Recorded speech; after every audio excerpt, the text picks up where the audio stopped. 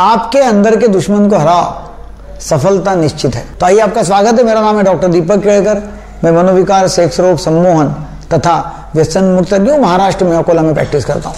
लेकिन यदि लोगों को हम पूछते हैं कि आपके और आपके सफलता के बीच में कौन आ रहा है? तो लोग काफ़ी सारी वजह देते रहते हैं। जैसे कि मुझे इंग्लिश इतना अच्छा नहीं आता मुझे कंप्यूटर ठीक नहीं आता कंप्यूटर चलाना नहीं आता। मेरे माँ बाप जो है मुझे सपोर्ट नहीं करते, मेरे घर वाले मुझे सपोर्ट नहीं करते। मैं काले रंग का हूँ, इसलिए मेरा इंप्रेशन नहीं पड़ता। या मैं छोटे कद का हूँ, मेरा इंप्रेशन नहीं पड़ता। या मैं, लोग मुझे चाहते ही नहीं हैं। बाहर के जो लोग हैं, मुझे बहुत मतलब नीचा बताते हैं। लोग मुझे एक्सेप्ट करते नहीं हैं। बाहर मार्केट में कंपटीशन बहुत सारी काफ़ी है। मतलब ऐसे लोग काफ़ी सारे बोलते रहते हैं कि भाई क्यों ऐसा है? लोगों को पूछा, आपका वज़न कम नहीं हो रहा है? क्या प्रॉब्लम है?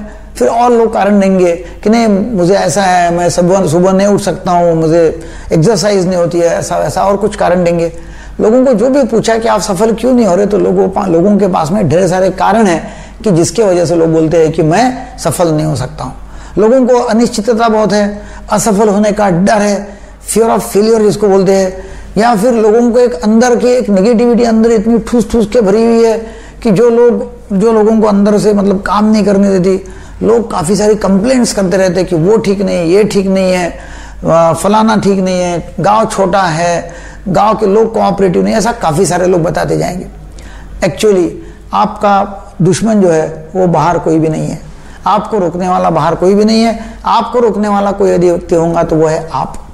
आपके अंदर आपका जो इंटरनल माइंड जो है, जो सबकॉन्शियस माइंड जो है, जिसके एक पैटर्न्स बने हुए हैं, एक ऐसे सेट पैटर्न्स लोगों के हैं, वो पैटर्न्स जो है ना, वो आपको सफल नहीं होने देंगे।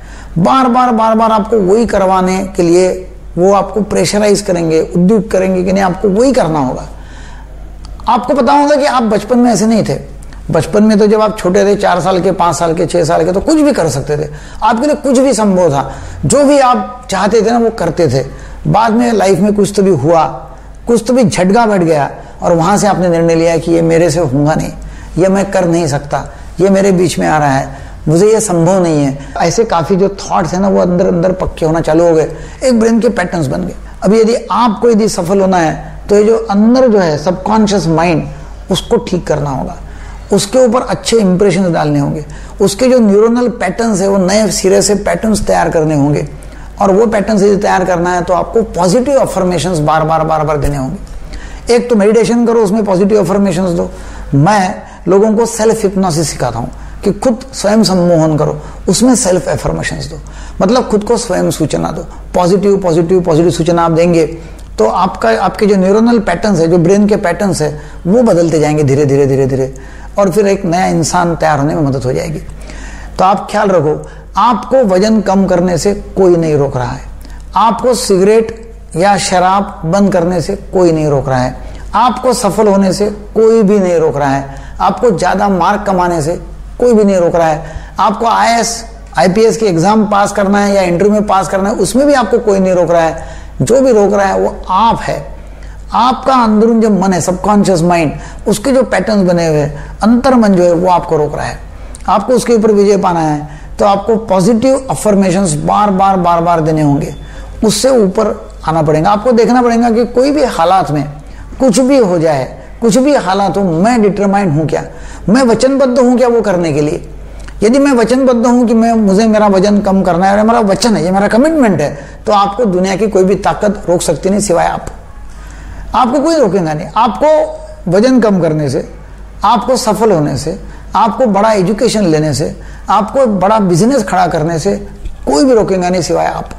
तो आपको क्या करना पड़ेगा? जो अंदरून जो अपने जो अंदर आवाज़ चल रहती है, जो निगेटिविटी अंदर ठूस ठूस के भरी हुई है, उसको आपको जड़ से निकालना पड़ेगा, उसको बाहर फेंकना पड़ेगा। देखना पड़ेगा कि ये मैंने तैयार की हुई निगेटिविटी है।